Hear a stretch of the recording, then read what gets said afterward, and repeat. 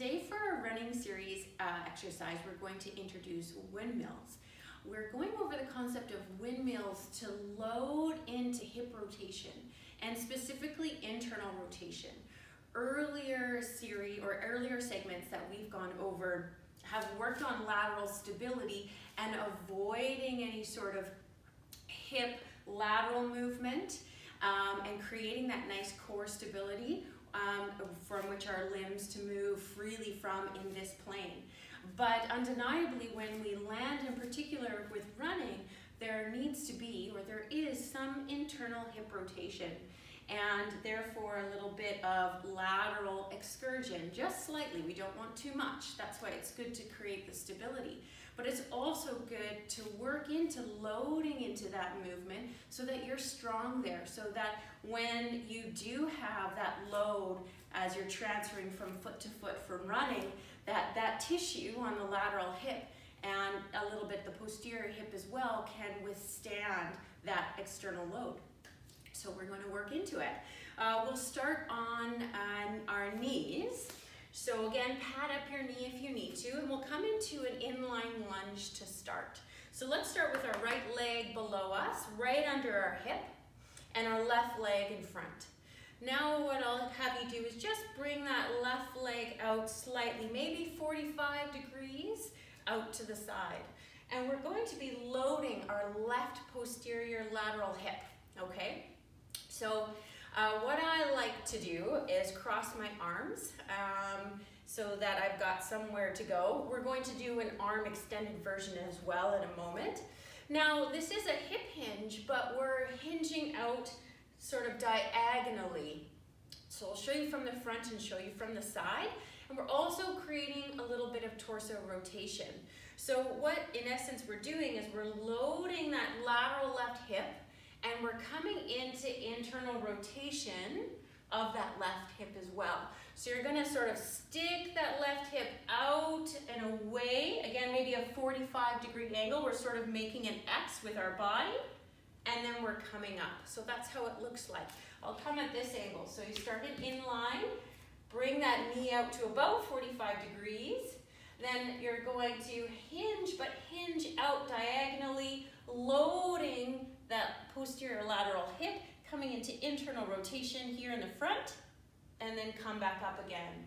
So all the while, I want you to think about stacking that canister and maintaining that nice long torso because we're not here trying to flex our, our torso, we're trying to load that hip. So let's try that again to the left.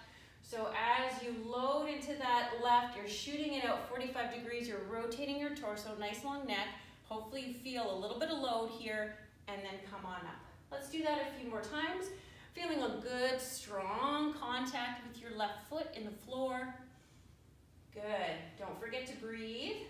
Long neck, push into that posterior lateral left hip, and come on up. Beauty. Let's try that on the right side. So, left knee is down, right knee is up. Bring that right leg out to about 45 degrees. Cross that those um, arms over.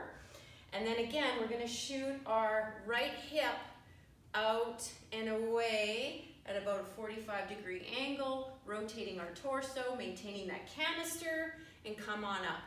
Okay, that canister is important because otherwise maybe we're we're coming into side flexion and collapsing our canister in one direction, then it would offload our hip.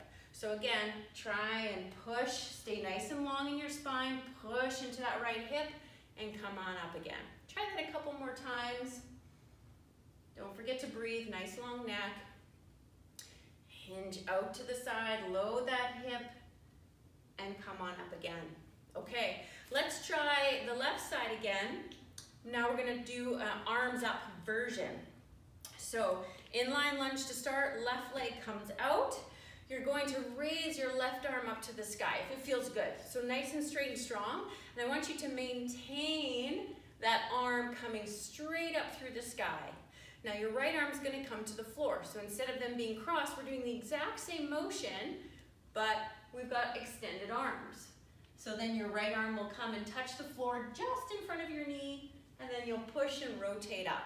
So that left arm staying straight towards the ceiling, and up.